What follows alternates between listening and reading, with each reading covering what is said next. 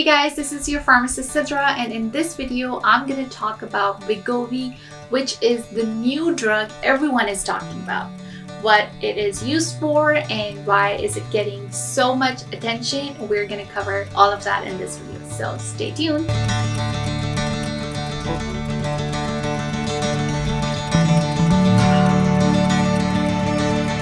Well, if you have been on TikTok or Twitter, you may have seen the Ozempic weight loss craze everywhere. Um, Ozempic was approved by FDA in 2021 for diabetes, and many people were prescribed it off-label for weight loss.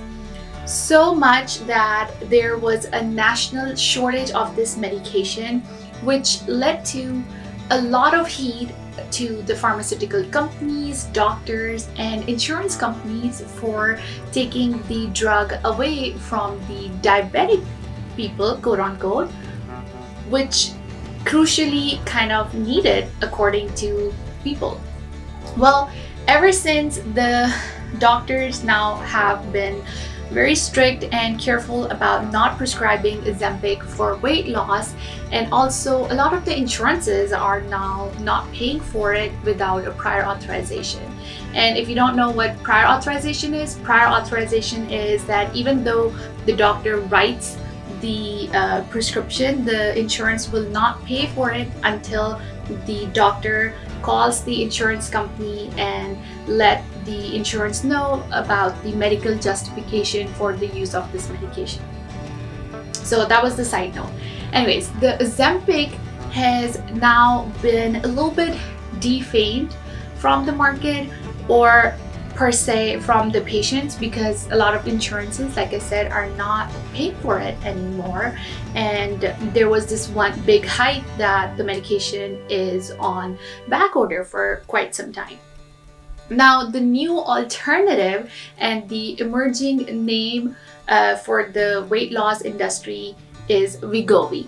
Now, this medication has been making headlines lately for its potential uh, uh, you know effect in the weight management so let's see what's up with this drug and what are the details so for those of you who don't know Wegovy also known as semaglutide is an injectable medication that has been approved by FDA for chronic weight medication in adults with obesity or overweight who have at least one weight related health condition.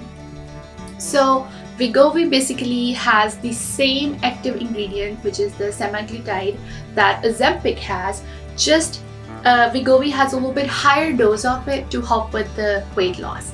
Now, semaglutide uh, belongs to a class of drugs called GLP-1 receptor agonists, I'm sorry, and these drugs work by mimicking the effects of hormones called GLP-1 in the body and what they do is they help regulate the appetite and the food intake. Now Wegovy acts on certain areas of the brain to reduce the hunger and it increases the feeling of fullness. So even with a little bit uh, amount of food that you're gonna eat, you're gonna feel fuller faster and you're gonna feel fuller for a longer period of time because what it does is it's going to slow down the emptying of the stomach which leads to decreased desire to eat and kind of overall reduction in the calorie intake. Hence, reduced calorie intake results in weight loss. So patients who are taking this medication, something to uh, kind of keep in mind or something which is just so life-changing is that the foods that used to be so appealing and exciting for them prior to taking the medication are no longer exciting for them, which is kind of sad.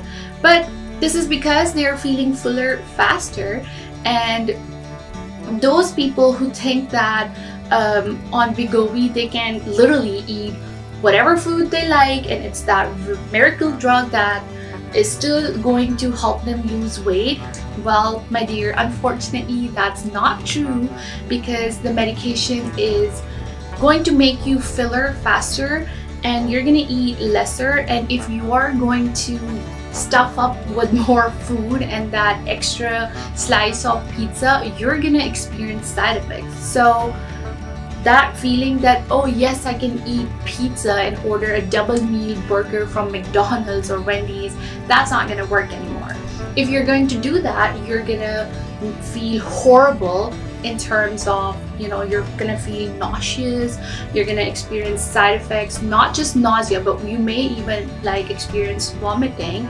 and which is not going to make you feel good. It's rather gonna make you feel awful. And with vomiting of course you're gonna experience dehydration and you could also be malnourished.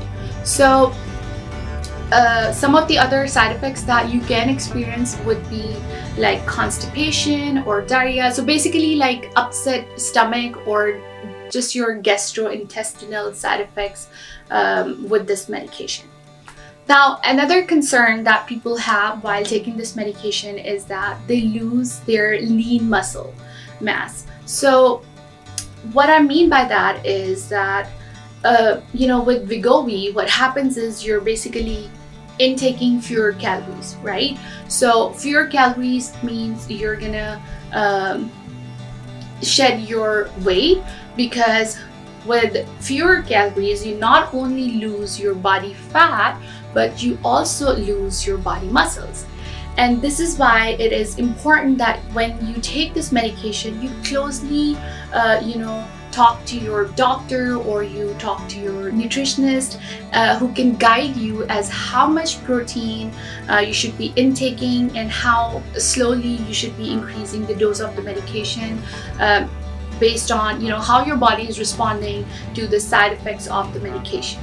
So this is just so you're not experiencing that nausea, vomiting, or malnourishment side effect, or as per se, like, uh, you know, you're not losing that um, lean muscle uh, with this medication and you're getting that uh, Ozempic face kind uh, of face with this medication as well. Also, when you're taking this medication, you should have a proper plan for exercise in place that should include your uh, weight training and resistance exercise. That way, you're re regaining some of that lean muscle mass that you may have lost with the medication. And this is why it's important to start the medication at a lower dose of 0.25 milligram. And you take that once a week for at least four weeks and then as tolerated you're going to increase it to 0.5 milligram once a week for a month and then gradually um, increase it to the target dose of 2.5 milligram uh, once a week. Another thing with Wegovy is that it is not intended for use in patients who are already at a healthier weight.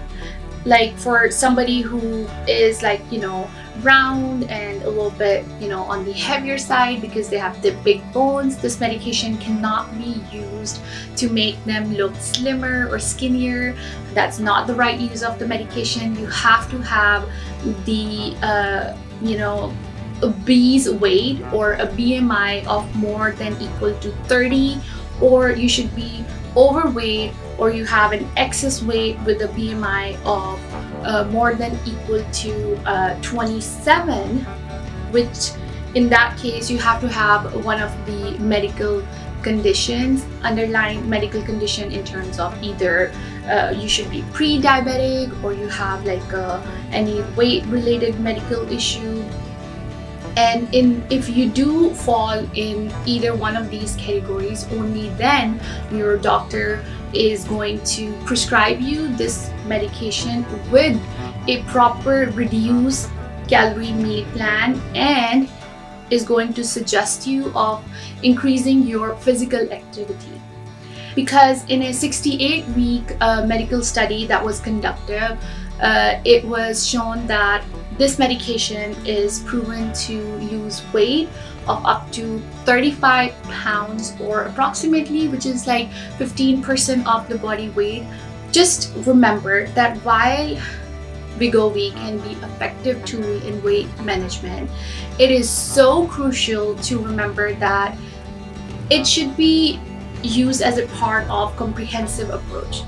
That should include, you know, adopting a balanced diet, engaging in regular physical activity, and making sustainable lifestyle changes. Because once, if you don't do that, then once you stop using this medication, all of that weight and all of those habits are going to come back because now you don't have this medication who is telling your brain uh, you know to feel fuller faster and to control the portion so more so of the mental game it's about making uh, you know changes in your physical lifestyle and kind of disciplining yourself that way once you uh, stop the medication because of course you're not going to be on the medication forever for the rest of your life right? That's not sustainable. So if and when you do stop the medication you don't have that rebound weight gain on the ending note i do want to say that when you think of individuals health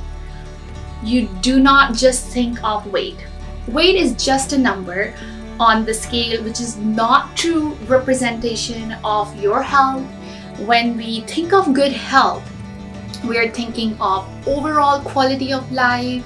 We're thinking of you know what factors can help uh, prevention of disease in this individual.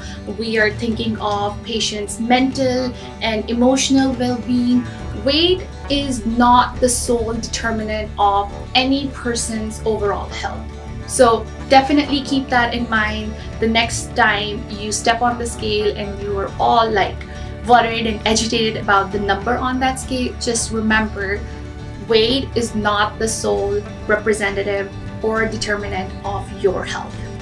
Thank you so much for joining me in today's video and remember to consult with your healthcare professional for personalized advice and guidance. If you did find value in this video, please like and subscribe to my channel for more informative content like this and I will see you guys next time. Until then, take care. Bye. Hey guys, if you found value in this video, give it a thumbs up, share it with your friends and family, and remember to subscribe to stay up to date on new weekly videos.